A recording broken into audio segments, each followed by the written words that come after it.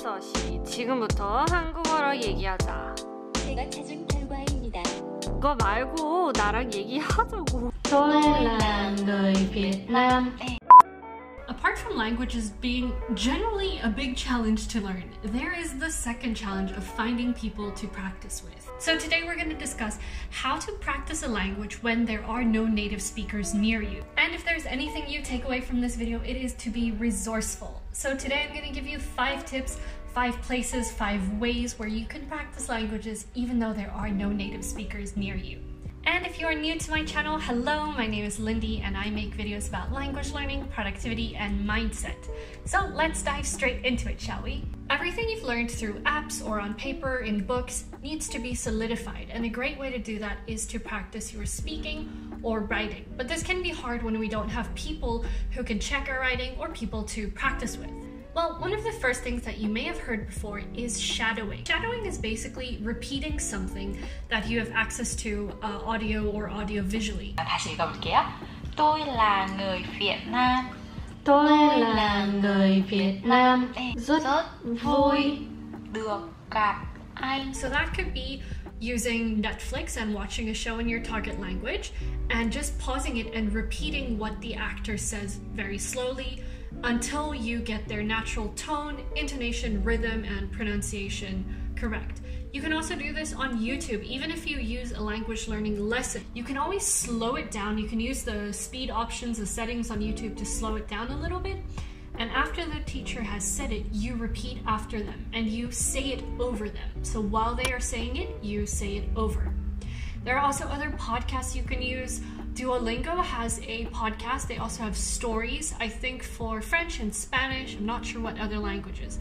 But any app or resource you have that has an audio element to it that you can play, pause, replay, you're not actually talking to a real person, but you are still getting your speaking skills practiced. Another YouTube channel that I like is called Easy Languages. I'm not affiliated or sponsored with them. I just really think they're so cool. They have a wide variety of languages. You can pause it and you can go back and play and just repeat what the speaker is saying. Mag-iwan ng mark sa mundo. mag-iwa. Ooh, that's what? Hindi, mag mag-iwan ng mark sa mundo.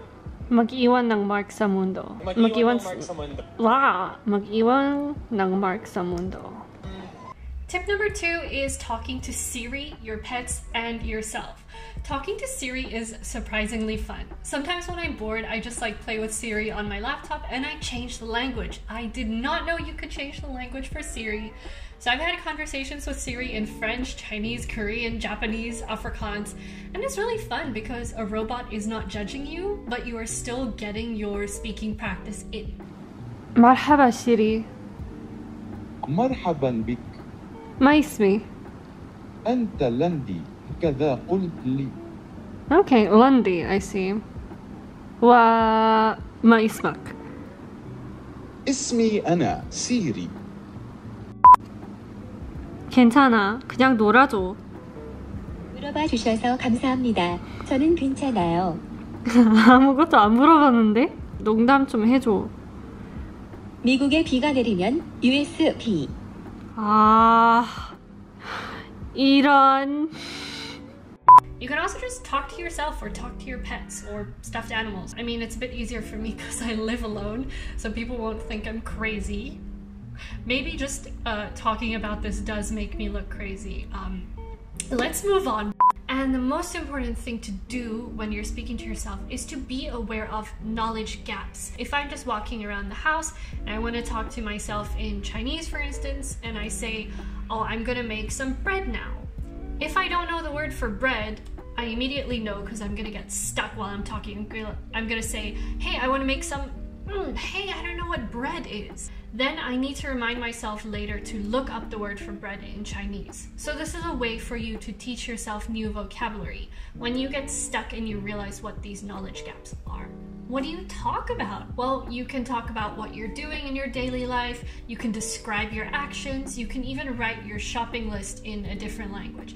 Any opportunity that you can give yourself to use this language is going to be useful, and you're busy creating experiences for language learning that don't necessarily require a native speaker with you. Tip number three kind of like talking to Siri, but you can find apps where there are chatbots to talk to, talk with, or find apps where you can exchange languages with native speakers. The internet is a wonderful place. If you don't want to talk to real people, two apps that I really like, not sponsored by them, just recommending something that I use, are Mondly and Ling. Both of them have chatbot functions, which are really fun because they're categorized into different topics. Be aware that sometimes these sentences can be a little textbooky or formal. Maybe people don't really talk like that, but it is a good opportunity for beginners. So here's an example of the chatbot on Ling. You can toggle the translation on and off if you're still learning. Let's keep that off for now. And I'm just using Hindi as an example मेरे language. परिवार में पाँच लोग हैं You can just press on it and repeat it. आपके परिवार में कितने लोग हैं आपके परिवार में कितने लोग हैं? आपके परिवार में कितने लोग हैं आपके परिवार में कितने लोग हैं? And uh, that's essentially how I go about practicing a new language. हमारा तीन लोगों का परिवार है हमारा तीन लोगों का उनमें परिवार मेरे है पिता You can take this further by writing down the conversation in a notebook and also replacing it with replacing some of the words in the sentence with other words. So maybe if you're talking to the chatbot and you're saying I'm going to order a coffee and that's the only option available that they let you type, then you can take the sentence and look up the word for tea or juice or salad and make your own sentences later. Also, I am a huge fan of Ling app. I just want to say that they have so many language options available. This is not sponsored by them, but I do have an affiliate partnership with them. So if you use my link in the description to download Ling, you can get a seven day free trial on a subscription and uh, enjoy this app that I think is brilliant. Like I said, this is a great way to practice a language when you're a beginner or when you're just dabbling or want to learn the basics. But once you get to intermediate or advanced, you really need to go out of your way to find native speakers to practice with so that you can learn slang, natural intonation, and more natural grammar.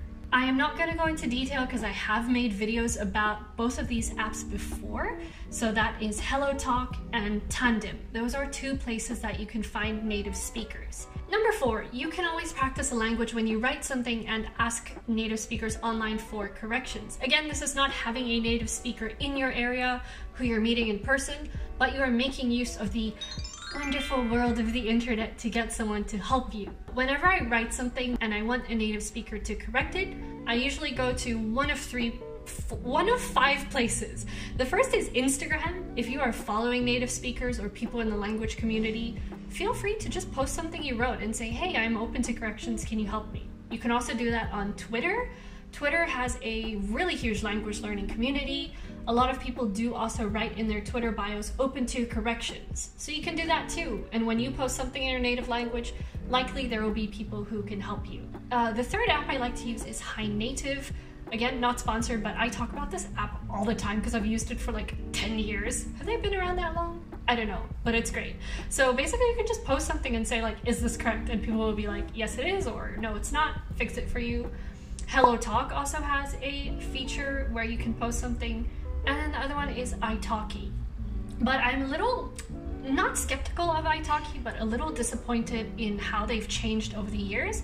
So they used to be a place where you could post journal entries and people would correct it like within a few hours. And then they kind of changed their, I guess, model or product features to focus more on language tutoring.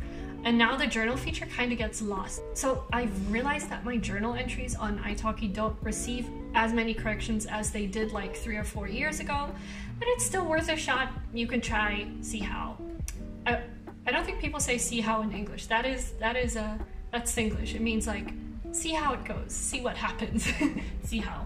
And tip number five is to follow native speakers on social media. You just need to put yourself out there. You could live in a cabin in the middle of nowhere, and if you have access to the internet, you are bound to meet native speakers. There is no excuse. Whenever I learn a language, I make a point of following native speakers or at least searching for content in a language. So I might be interested in web development, for instance. What I can do on Twitter or Instagram is search the hashtags in a particular language.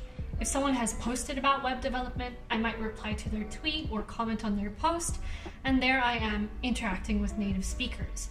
This is a bit of an unorthodox way because you're not guaranteed an answer from them, but it's still giving you an opportunity to engage with native content and to practice your speaking or writing.